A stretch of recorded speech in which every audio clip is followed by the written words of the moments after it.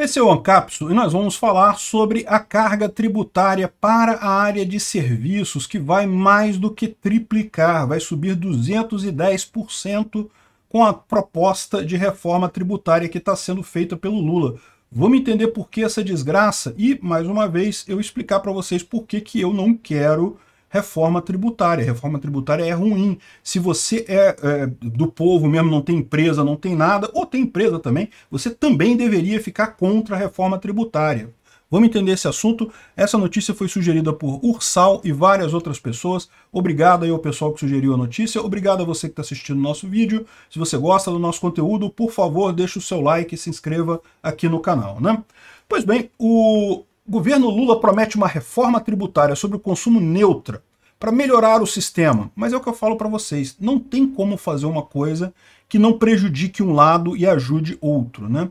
E o que está acontecendo aqui? No final das contas, para para pensar, hoje quem presta serviço, e quem presta serviço, inclusive, é o pessoal MEI, o pessoal microempresário, o pessoal que trabalha PJ, então, esse pessoal hoje é prestador de serviço, né? Você é uma empresa, se você abrir uma MEI, você é uma empresa que presta serviço. Qual o serviço que você presta? O serviço que você faz, é o seu trabalho.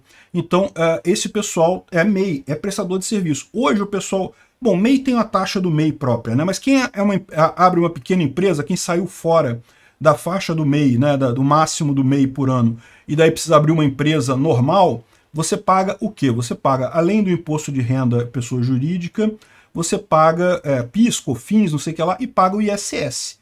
Então, o ISS é um desses impostos que seria absorvido pelo novo IVA, viraria valor agregado.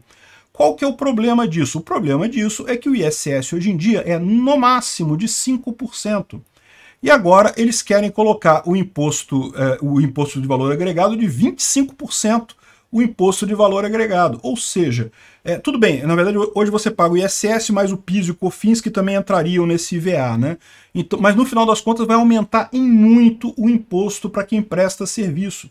Essa é uma outra forma que o governo está querendo fazer também para obrigar as pessoas, uh, uh, as pessoas que trabalham PJ de pagar mais imposto acaba sendo mais um imposto a ser pago por esse pessoal, justamente porque você paga o IVA 25%, ou seja, já virou a mesma faixa de você pagar o uh, imposto de renda. O imposto de renda já é 27,5%, já é quase a mesma coisa no final das contas. Né? Repara o grau de prejuízo que você vai ter.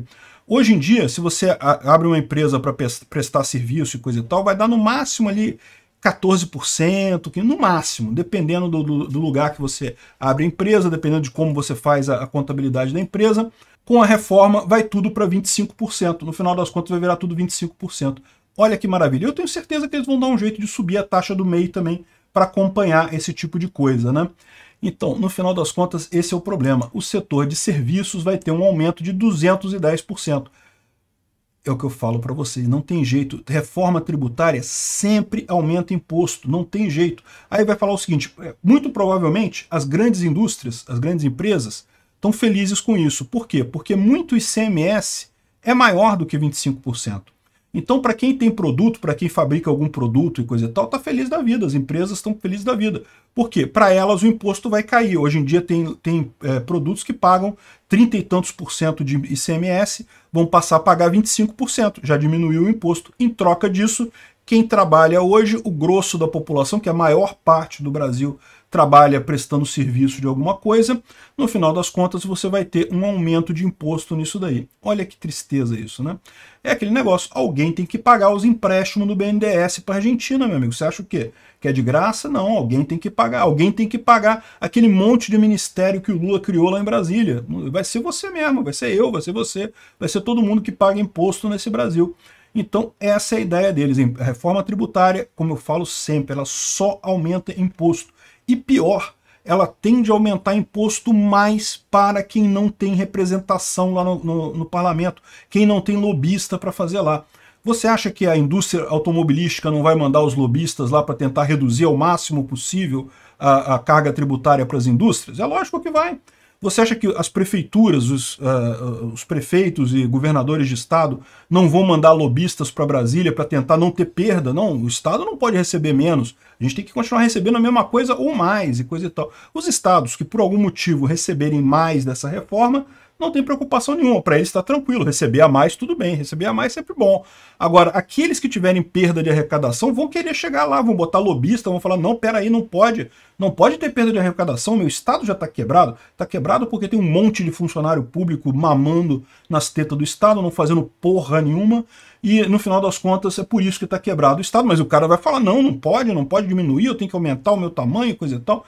E aí, adivinha quem, quem que não tem lobista lá na, em Brasília na, na hora da, da, reforma tributária? Quem é que não tem o lobista para dizer, não, peraí, no meu lado não pode piorar também, não. É você, eu. A gente não vai ter lobista lá. A gente vai ter que ficar dependendo dos, dos deputados, pelo menos pensarem na gente em algum momento. Só nisso, porque convencimento, o pessoal conversando com eles lá e coisa e tal, isso sem contar em outras possibilidades de convencimento, que você sabe, existe, né? Eu quero crer que nem todo deputado seja um corrupto filho da puta, mas que tem um monte que é, a gente sabe que tem, né? Então, assim, é, que vai ter outras formas de convencimento para mexer nesse negócio, vai ter. E é por isso que eu digo para vocês, esquece reforma tributária. Ah, reforma tributária, o, o imposto no Brasil é muito complexo e coisa e tal. Deixa quieto desse jeito, não mexe, porque se mexer vai ser para pior para pior para quem?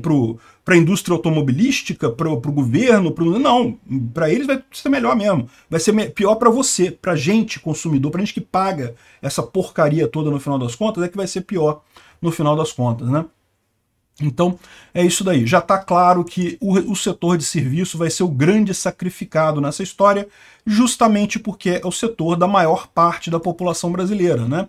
O governo Lula é o governo dos pobres, mas só dos pobres é, apoiador do PT que quer mamar nas tetinhas do Estado. Né? Os pobres, pobres de verdade, aí, meu amigo, vocês vão pagar mais imposto o pessoal que trabalha como PJ, o pessoal que tem pequena empresa, ou mesmo o pessoal é, é, CLT, porque para para pensar, né, no final das contas, a empresa que vocês trabalham, se for uma empresa da área de serviço, também vende serviço, então também vai ser é, é, prejudicada com essa história. Né?